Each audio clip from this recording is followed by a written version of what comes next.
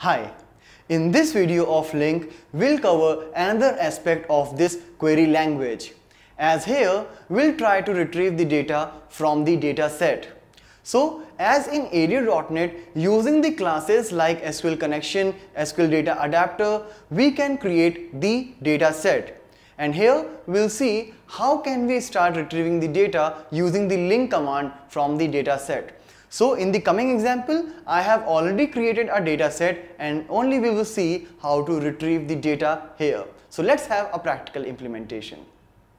So now for LINQ to dataset, I have already created a dataset using the LINQ statement and here in the page load, I have the object ds from which I will make the query in LINQ to dataset. So let's start working on that. So as always, we'll start working with var result is equal to from emp as here inside the dataset I have put a data table of name emp and ultimately I will get the employees type data from inside. So from emp in ds as we know dataset doesn't store any data directly but it has the data tables inside. So which particular data table I am talking about? The one with the name emp. So tables emp alright? From emp in ds.tables this. But if I'll say uh, comparatively the age of data set and data table is very much more than the LINQ.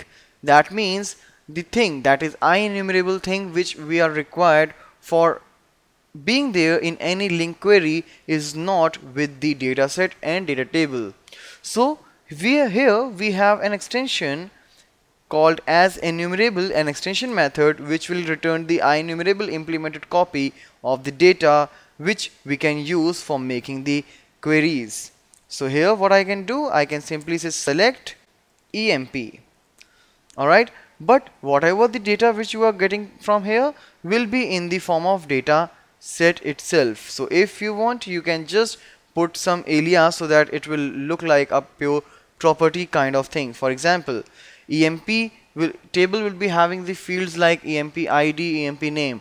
But if you will not do in that way, it will look like like means during the retrieval it will not behave as a property but as the data rows which will not be a better idea for making the LINQ query because in LINQ ultimately we get the properties which we can use for any further operations so what I can do here I will simply say new and then as always I will uh, just start defining the things like first is the EMP ID where I will put EMP that is the data row. So this EMP is of data row type and the first column is the, either you can pass the index or the name of the column. So here 0th index which is returning you an object type of value that is this EMP is uh, the data row and ultimately when you will pass the index so it will be an object kind of value. So that's why you can see this emp id becomes of object type. So obviously id is of integer type. So what i can do i can simply just typecast that to int so that this will become of integer type. So that we can directly use or directly perform the operation of an integer so the next thing which will retrieve is the emp name where I want a full name. So full name will be comprised of concatenation of first name and a space and then a last name. In my table, I had few nulls in the last name. So if it is a null, then it will make a complete value as a null.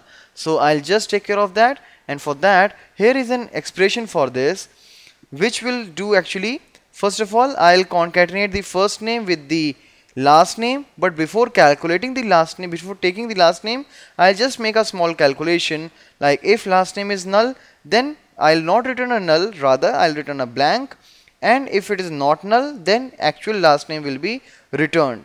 So first of all this operation will take place because it's being placed inside the parenthesis. Then whichever will come out will be concatenated with the first name since the complete process will give you the value of object type so here I'm converting that using convert.toString or you can also go for. dot .toString at the end. But this is how I have created this second field. So similarly you can retrieve as many as fields you want. Once you are done I'll show the value in the grid view which I have already taken here. So data source is equal to result and then grid view 1 dot data bind. So here you can see emp id emp name which are the aliases. After that you can see there are the names and the IDs available. Here since you can see few are having only the first name and few are having the last name as null. So just because of that we have done that ternary operation so this is how you can start querying from the data set using a LINQ command